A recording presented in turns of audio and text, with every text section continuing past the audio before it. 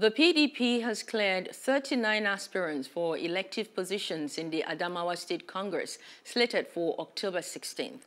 The chairman of the screening committee, Mahmoud Mohammed, disclosed this at the party secretariat in a press briefing in Yola, the Adamawa state capital. Mohammed said the exercise was in line with the party's principles and guidelines, and all aspirants were found eligible to contest for executive positions in the state.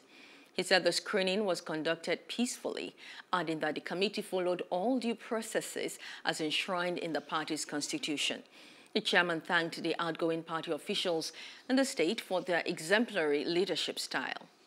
Aspirants who have duly met the eligibility requirement of our great party, and they are hereby screened and cleared to contest in the forthcoming state congress.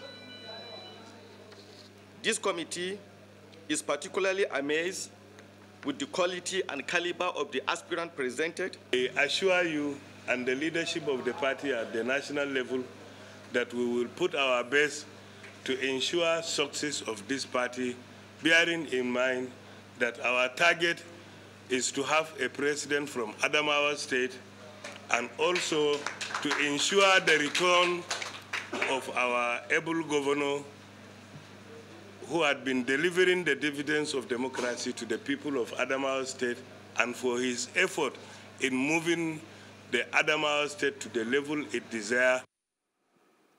Hello, hope you enjoyed the news. Please do subscribe to our YouTube channel and don't forget to hit the notification button so you get notified about fresh news updates.